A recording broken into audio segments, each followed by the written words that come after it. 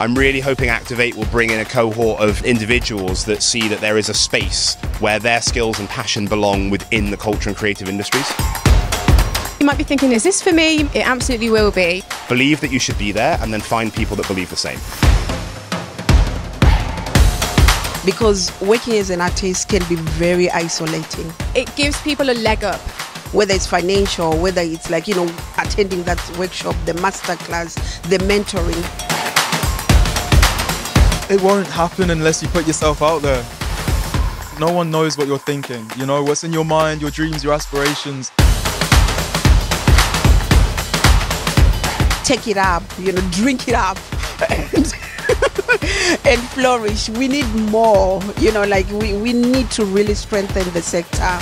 But it won't start until you start. That's the most important thing.